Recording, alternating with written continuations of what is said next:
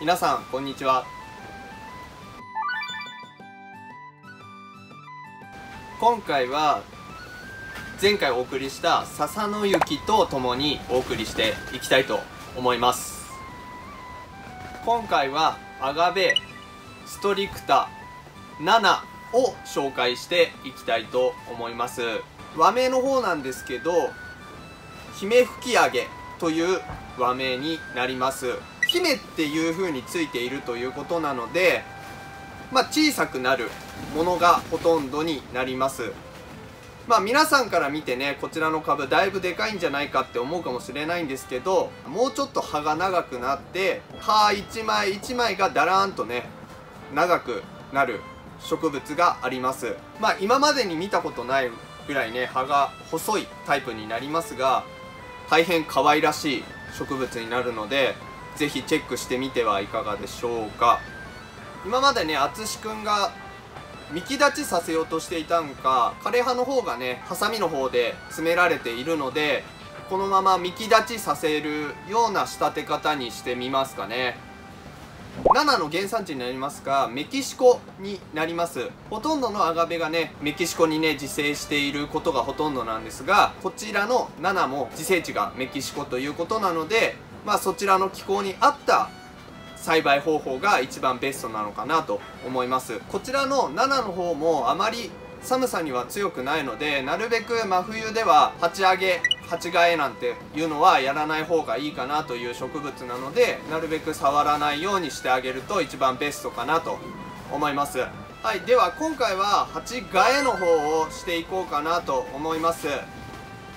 まあ根っこの状態を見てね鉢下げなんかもちょっと検討しながらちょっとやっていこうかなと思います。はい早速ね作業の方に移りたいと思います。はい早速ですがね7の方をね8から出していきたいと思います。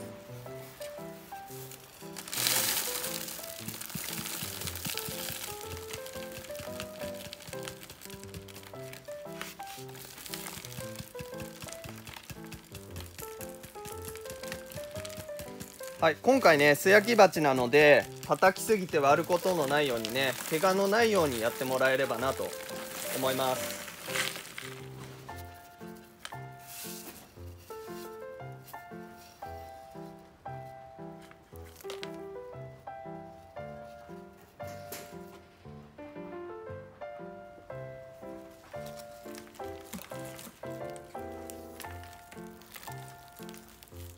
はい。こんな感じですね。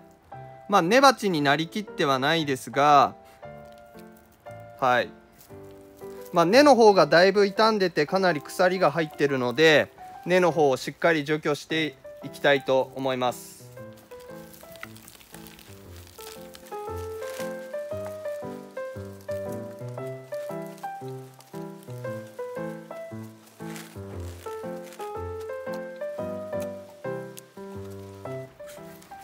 はいでは土の方がねだいたいほどけましたのでこんな状態ですね。はい皆さんも聞こえると思うんですけどもうだいたい根が死んじゃっててパリパリ言ってるの分かるかな？はい。まあ根があまりいい状況じゃないのでまあ葉の展開を見ていただいてもまあ、あまりいい状況じゃないかなと思いますのでこういった時はね鉢から1回出してみてみるのも一つの手なので是非やってみてください。じゃあ根の方の整理をねまずやっていきたいと思います。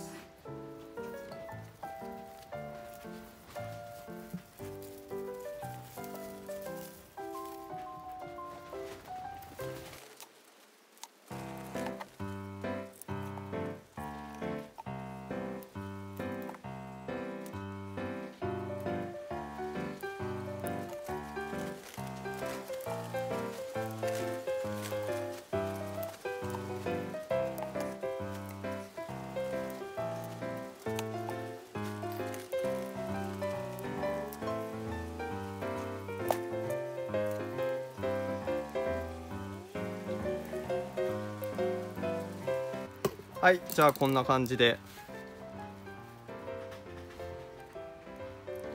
根っこの方をね除去していきます。でやってるとねこういう風に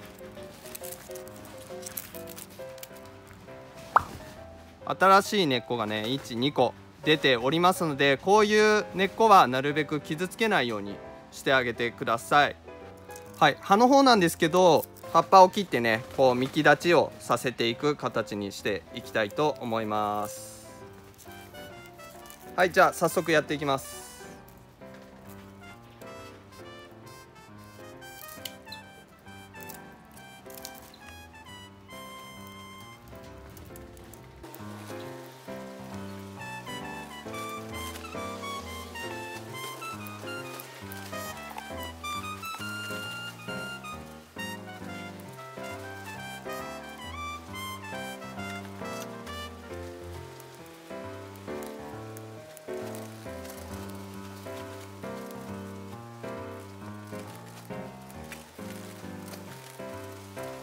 はいこんな感じでね整理の方していきました。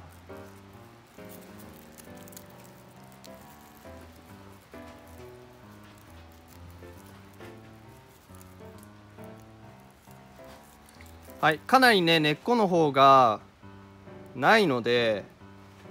ちょっとね鉢が下げられれば鉢下げていきたいと思います。えっ、ー、と今回ねこのポット使っていきたいと思います。はい。素焼き鉢これ使ってましたが一回りちっちゃいものを使っていきたいと思います。はい。では植え付けていきたいと思います。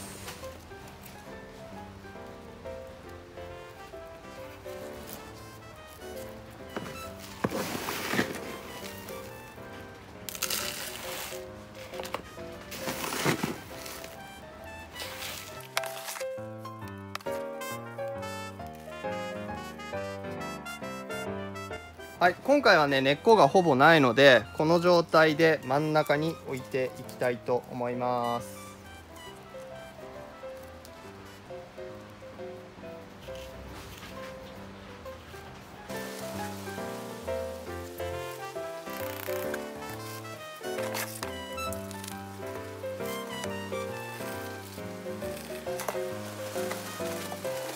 はいでは鉢下げの方がねできましたのでこんなような状態になっております。